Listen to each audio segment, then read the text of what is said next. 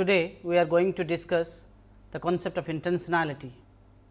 As I mentioned in the last class that intentionality is an intrinsic property of consciousness. Now, according to Searle, intentionality and consciousness are identical, they are necessarily related. Consciousness being produced by brain processes shows that intentionality shares a kind of a causal relationship with brain processes. I am trying to cite this causal notion of intentionality precisely because there is already a theory of intentionality advocated by Edmund Husserl. According to Husserl, intentionality is also the necessary property of consciousness but Husserl does not hold the causal theory of intentionality as it has been understood by Searle. Now, John Searle's biological naturalism remains sympathetic to the naturalistic tradition that is there is a scientific understanding of consciousness possible, meaning thereby everything is based on the ontological status of the matter. Intentionality has a material grounding, whether it is biological or physical, intentionality has this material grounding, because as you know Searle's biological naturalism is based on two presuppositions that is the atomic theory of matter and the evolutionary biology. So, intentionality does not disown these presuppositions. In other words, Searle's theory of intentionality is a causal theory of intentionality, because it does not disown its causal root. Now, Husserl on the other hand tries to talk about a transcendental theory of consciousness, where Husserl tries to figure out intentionality is a logical feature of consciousness.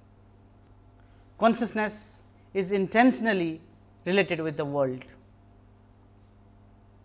So, Husserl's theorization of intentionality is different from the Searlean theorization of intentionality for Husserl, intentionality is a non-physical phenomenon. It is a non-physical feature of consciousness, whereas for Searle, it is a physical feature of consciousness. We would discuss about Husserl's intentionality a bit when we uh, give a transcendental notion of consciousness, how consciousness is a transcendental phenomenon, maybe in some other class. Today, we would try to analyze what is Searle's notion of intentionality. Now, intentionality as you know that it has this feature of directedness, aboutness. So, whenever we talk about an mental states or intentional states, they are necessarily about the world or about the object or a state of affairs.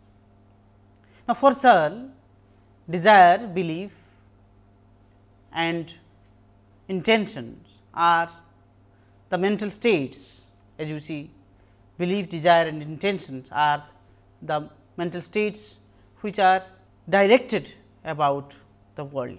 Whenever I say that I have the desire, then I try to say that I desire something. Now, I give an example and try to illustrate this notion of intentionality. Think of a case for intentionality is a part of the very experience of desire, belief and intention. Now, I cite this case of Rohan, it could be anybody else, but if Rohan is a person, okay, human being, Rohan desires to have a high profile job Okay. Rohan believes that high profile jobs are available in the market. There is there are jobs available in the world and he intends to work hard to get the job. Rohan's desire will be fulfilled if and only if he works hard and secures good grade in the final examination. So, think of the case x, x being the person, x has desire, belief, intention. Now, x desires something. So, this very expression of desire is to talk about how a particular mental state like desire is directed to the world because jobs are available in the world. So, this directedness or what shall call the aboutness is an intentional feature of the mind. Now, Searle makes a distinction between intention and intentionality. Intentionality is always a feature, whereas intention is a mental state. All mental states will have this feature of intentionality.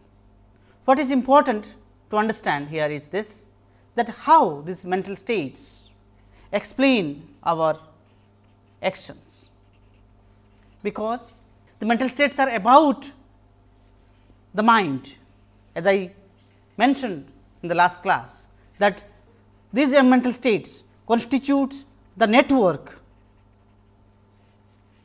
these mental states constitute the network and the network represents the mind. So, there is something internal about the mental states, but when Searle talks about the internality of mental states, Searle also tries to show that these mental states are expressed in the form of language in the form of language. So, the expression of mental states in the form of language shows that they are directed about the world. They also show that they represent the world. So, for example, how Rohan perceives the notion of job in the market speaks about Rohan's experience of the social phenomena. So, if that is the case, how does an individual experiences things and how does he or she represents them. So, that will bring the concept of intentionality in a more explicit manner. And it will also show that this idea of fulfillment or so, satisfaction we will talk about how things are also associated with mind. It is not intentionality it is not about the external conditions or external relations, but also something internal to the mind. And that is what is now we are trying to explain and Searle very well explains this that there is some kind of a direction of fit between the individual, the subject who is a conscious being and the world. So, that kind of relationship we will talk about. Now, what is directedness? Look at let us extend this example little further. If the teacher says that Rohan is doing well in the class and Rohan hears this statement of teachers, Rohan is happy about his performance in the class and in the examinations. Then Rohan of course, feels happy. Now, the question is whether this happiness or the feeling of happiness is intentional. Do they represent like the desires, belief, intention.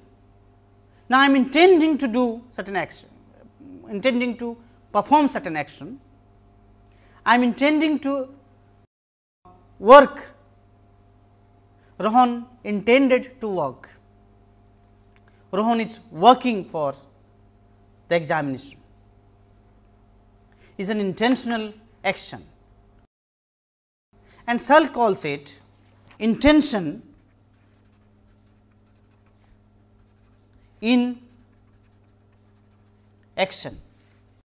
When Rohan experiences this fact that he has been working hard, when Rohan experiences this fact that there are good quality job available in the market. Now, this very experience of certain things, Searle says that look at how intention works.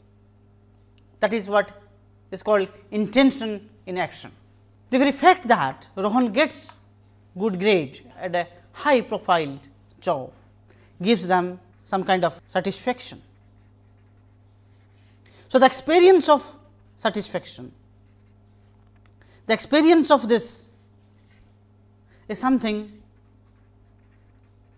internal to Rohan or any person called Rohan. That is something internal to him. We need to understand little further that further what kind of directedness the notion of feeling will have. Does Searle say that feeling is directed about certain things? Does Searle point out this fact that feeling is feeling represents something? It is also true in the case of desire and intention that they represent things. Whenever I say I desire a glass of water or I would like to have a glass of water, the desire represents something that I am thirsty or I am experiencing thirst, something like that. Now, the question is whether feeling also expresses or represents this something. According to Searle, there are mental states which are unintentional, they do not represent things. So, for example, my sudden feeling of happiness, elation and fear, fear and elation are some kind of mental experiences, but they do not really represent things. Certain cases of uh, say Rohan did not get a job. Think of a situation where Rohan did not get a job. Then there is a possibility that Rohan may get depressed because he was anxious of getting a job. So, anxiety, depression are non-representational mental states. They do not represent anything, meaning thereby they are not directed towards any object. I am anxious of certain things. It is difficult to say that what I am anxious of. So, uh, in the depression, the person is not really know what is the cause of depression. So, therefore, for Searle, the feeling of depression and anxious anxiety are not directed, they are the evidence of undirected mental states. So, there are mental states which are directed about the world and there are mental states which are not directed about the world. So, for example, I am feeling very nervous, I am or I am feeling kind of a fear being in this room, but I do not know what is the cause of my fear. So, in that situation things are non intentional in character. There are feelings, but feelings are non intentional, they do not represent things. Then we need to understand what is the nature of representation in Searle's theory of intentionality. Intending and intention are just one form of intentionality. Now, we need to look at what is Searle's notion of representation. As I said that mental states are intentional states and all intentional states are representational, because they represent an object or state of affairs in the world. Intentional states are representational states. When I say that, I must also point out a little bit on this that how thoughts or mental states are representational. This network of mental states that Searle is talking about refers to thoughts. Thoughts are mental. Now, if thoughts are mental phenomena, then how thoughts cause action? According to Searle, thought and actions are intentionally related. There is some kind of a causal intentionality operating in this. Searle says that intending to act or the intention are just one form of intentionality. As I mentioned that there is a kind of a intention in action. Now, this intention in action tries to show that there is some kind of a causal chain intention which is causing action. Now, if intention causes action and this entire experience is linked by intentionality and Searle calls it intention in actions. Now, they are just one form of intentionality. They are not two different kinds of intentionality. Intentionality of thought and intentionality of action or the performance of my action are not two different kinds of intentionality, they are one kind of intentionality. Now, therefore, intending is an intentional act.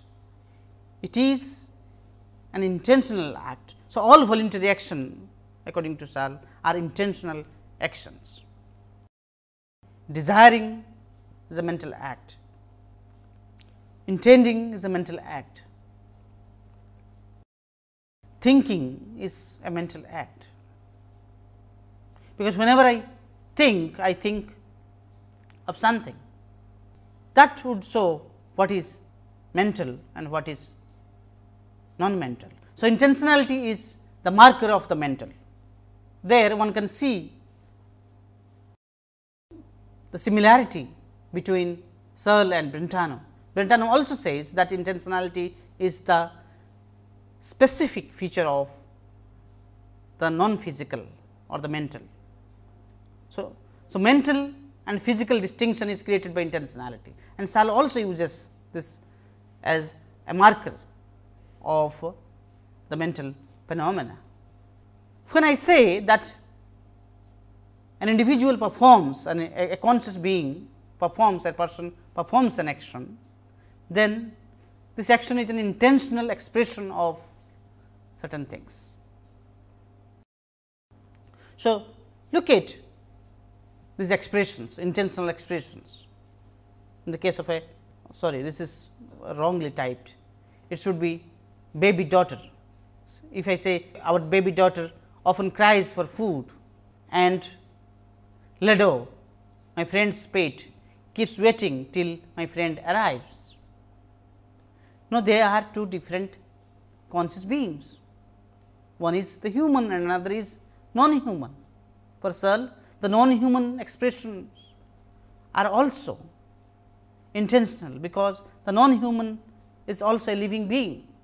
So, being a biological shows that they express intentionality. So, animals, plants etcetera as I mentioned in the previous class that they are all have this capacity to express intentional actions. But when it comes to human beings, when it comes to human life, then human life is expressed in a different way, because human being use language in a typical way. Probably it is through humans beings language or a linguistic form of life, we are able to understand the other forms of life. But for Searle, human linguistic activities are formed, are structured and can be explained with the help of intentionality. So, meaning according to Searle can be explained through intentionality. So, uh, meaning is very much part of the social linguistic activities of human beings. When I say that meaning can be explained through intentionality, one has to look at this point of Searle that intentionality is a primary condition for language use. Language is secondary, because meaning is derived from intentionality. Meaning is not derived from language use or the form of life in the way Wittgenstein puts it. So, Searle has a different concern here. We need, to look at this in a more explicit manner. So, this idea of meaning derived from intentionality has to be seen explicitly and we will do that in one of the classes when I would be speaking about language world relationship. But for today let us look at briefly how does Searle explain the intentionality that is involved in language use. As you all know Searle has this hypothesis in 70s when he wrote Speech Acts. Of course, Speech Act was published in 1969 by Cambridge University Press. Now, in Speech Act, Searle comes out with this hypothesis that philosophy of action is a branch of philosophy of language. When he says this, he makes it a point that is whenever I express something, I perform a linguistic action. So, expressions, linguistic expressions are nothing but actions, one kind of actions. But in later period when he wrote intentionality in 83, he comes out with another hypothesis that is philosophy of language is a part of or a branch of philosophy of mind. So, all the linguistic activities that human beings perform flows from human intentionality. So, intentionality is therefore primary and intentionality has the defining power defining power in the sense that it explains human actions, human linguistic behaviors, particularly meaning. So, in this sense Searle tries to give primacy to the intentional rather than the linguistic. For Searle, intentionality is not linguistic why intentionality is not linguistic? I will come back to these questions. One can critique Searle's position, but what is important here look at how does Searle articulate the notion of intentionality as a part of linguistic expressions. Now, when Searle says that speech is an expression, Searle says that we talk about P, P is a proposition and P has a kind of a force embedded in it and Searle calls it illocutionary force. In speech act, Austin defines that there are three stages. One is the locutionary stage, illocutionary stage and the perlocutionary stage. So, for the linguistic expressions are concerned. So, the illocutionary force is involved in the propositions or in the expression or the statement. So, whenever I say something say P, then P also carries some kind of a force. For example, if I say close the door is an expression of a command close the door, but if I say please close the door may be used in the sense of a request. So, command request are carrying some kind of a force and Austin calls them performative utterances. Searle calls them speech acts. There is no difference between Searle and Austin here, because when Austin says by saying that please close the door, I am performing an action. I am trying to say this with a particular force and Searle calls it an illocutionary force. This illocutionary force will act in such a way that it will force the hearer to act in a particular way, meaning thereby the hearer would follow what is said and then he would perform what is desired. So, speech act is like performative act. Now, all performative acts have a content, because when I say please close the door, this statement has a content. It expresses certain meaning and the hearer understands that meaning and reacts to the statement made by the speaker. So, there is a representational content involved in the representational state expressed by the speaker. Searle says this representational state will have a direction of fit. Now, what is this direction of fit? As I mentioned to you earlier that if x expresses p, p is a statement to the hearer, then the hearer listens to that statement and again reacts. If I say please close the door, then the hearer listens to the statement made by me and closes the door. So, when I say please close the door, I have this hope or there is some kind of a expectation that the hearer will follow. Now, when hearer does something, meaning thereby when hearer closes the door, then this intentionality is from intentionality towards the speaker. So, there are two kinds of intentionality operating here.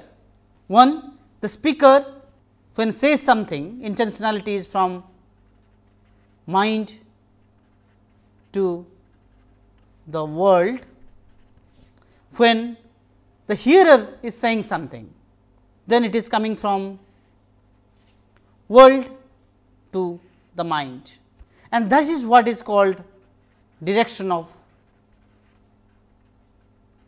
fit. So, in the case of speech act when the speaker performs certain action and his desire is fulfilled, then the direction of fit is achieved. And Searle points out that every statement is expressed with a psychological mode. It is not that just representative content, but there is a psychological mode involved in it. So, P m stands for the psychological mode, R c for the representational content.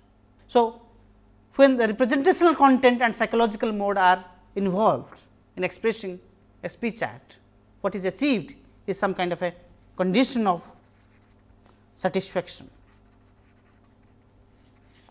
Because I am satisfied in the sense that what I was expecting is also fulfilled. So, I say something and I expect certain things.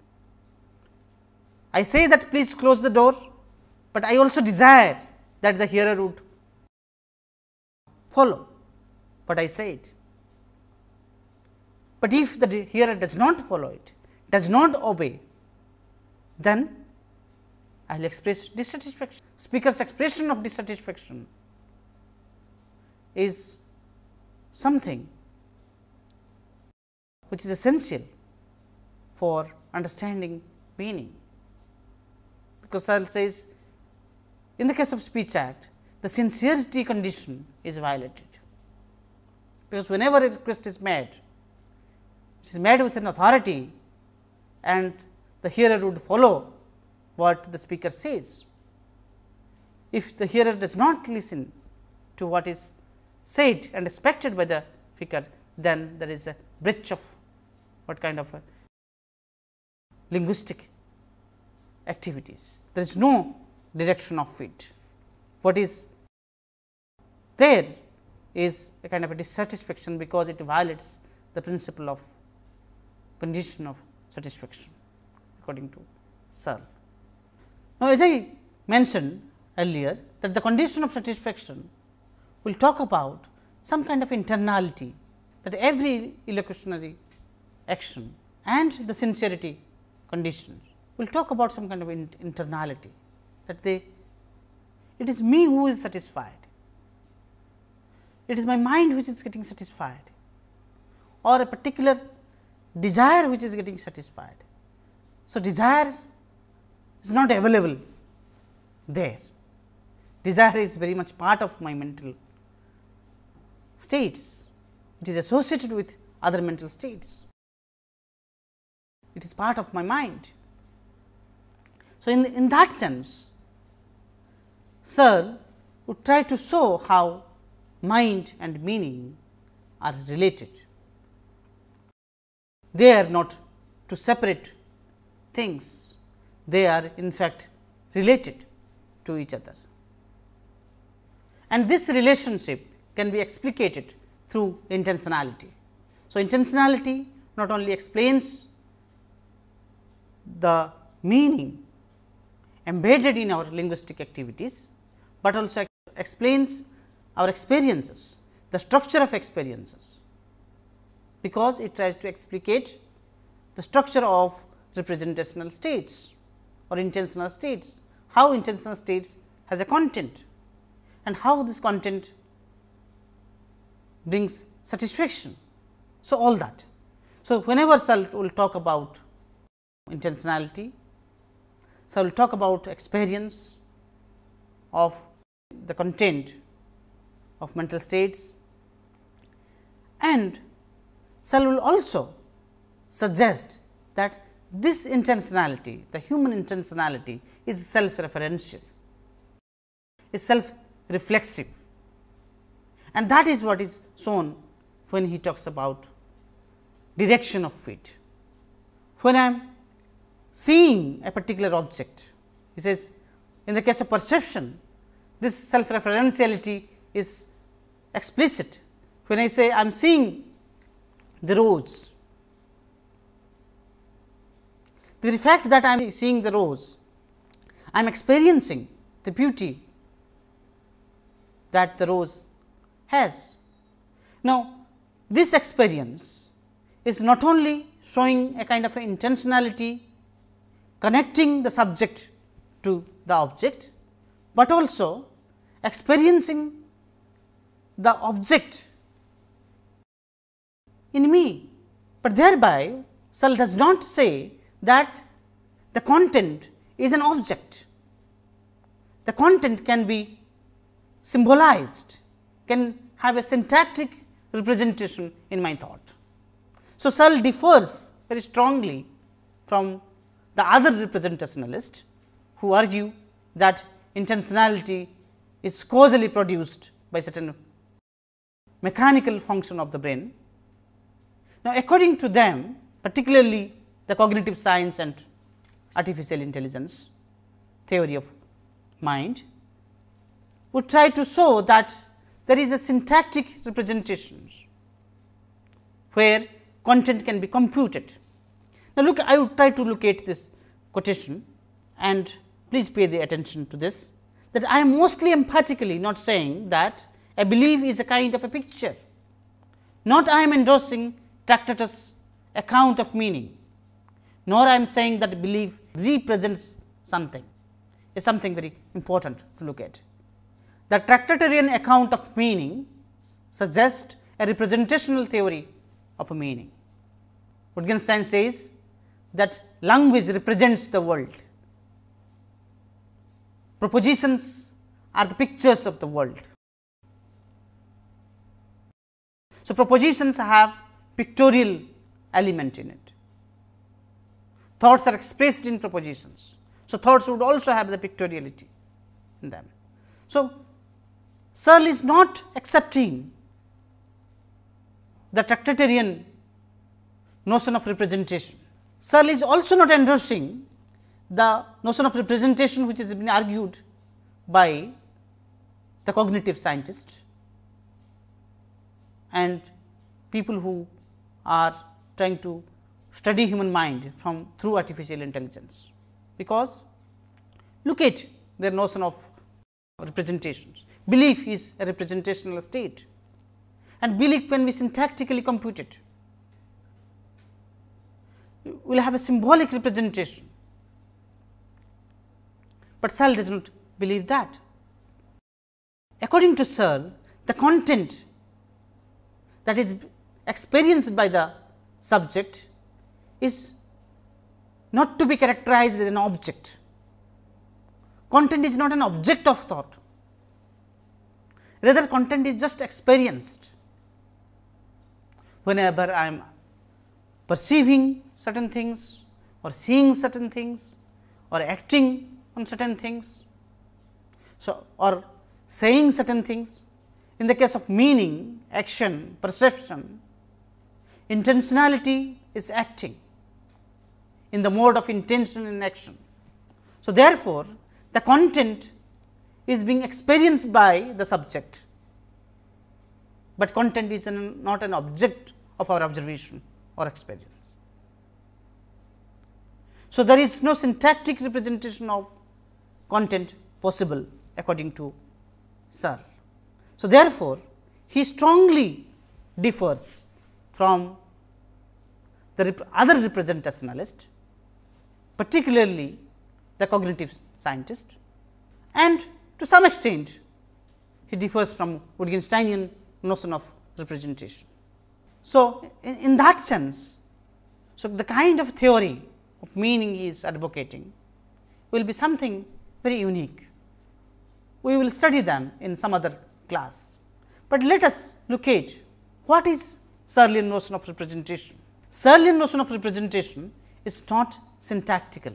The syntax in the computational process is observer relative. I am sure Professor Nath will explain when he will talk about Searle's distinction between strong AI and weak AI. Searle puts it very emphatically that computers cannot think. Now, this sounds very typical of Searle. When Searle says the computers cannot think, what he means by this that computers do not have first order intentionality. The kind of intentionality which has been produced by the machines or the computers, the kind of intelligence which is shown by cognitive machines which has this cognitive power are second order intentionality. Biological intentionality is the first order intentionality. All biological beings, living beings will have first order intentionality, because their intentionality is something intrinsic to their consciousness. It is something intrinsic to their life whereas machine intentionality is a derived notion of intentionality, because whatever is being there, whatever is being programmed are the representational states ascribed to certain machines. So, therefore, they are all derived intentionality, they will all have second order intentionality. And Searle also points out that an artificial system will not have life, the kind of consciousness we have, computer will not have. So, to understand what is consciousness, we need to understand what is the concept of consciousness and what kind of form of life human beings live. A computer does not fall in love, human beings fall in love. So, falling in love is, is a kind of an experience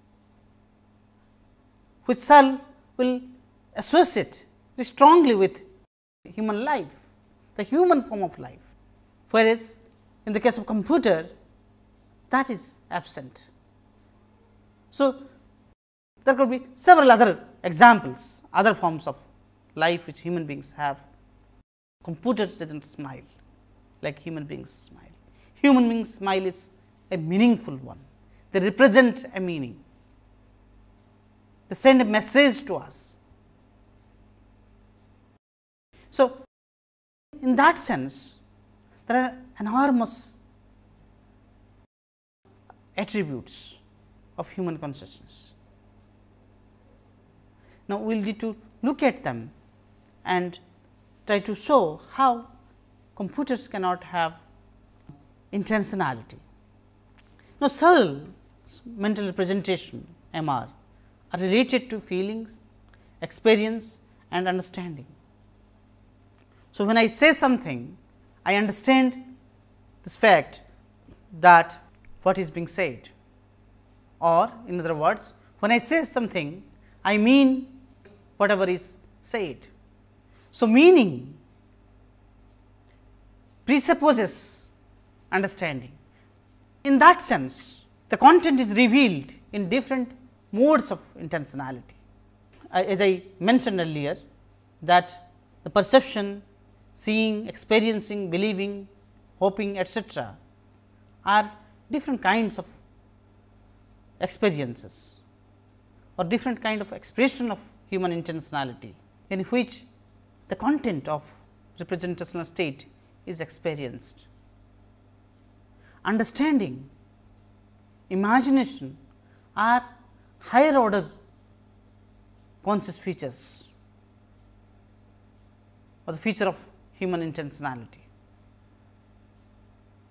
Because in animals do not understand the way human beings understand. Animals lacks this power of imagination. As I mentioned that intentionality has self referentiality. Intentionality with the help of its self referential feature tries to show that it is me who is acting. The sense of identity is produced by this self referential feature of intentionality, because the subject understands this fact that he is acting or she is acting, she is doing this, she is experiencing the object. So, the action is associated with the subject, which is very necessary when one talks about the concept like moral responsibility. Animals do not have the sense of moral responsibility and what Searle calls the deontic power of intentionality. So, human intentionality is deontic, has a sense of right or wrong. Human beings have the aesthetic imaginations. They are engaged with creating new things, art, poetry are the manifestation of human imagination, aesthetic imagination. So, in that sense human int intentionality is a very profound notion of intentionality and is different from the machine intentionality, the intentionality of an artificial system.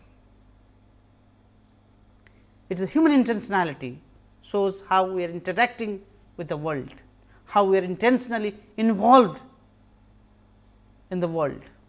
So, the performance of action, perception, meaning etcetera will project the significance of human intentionality.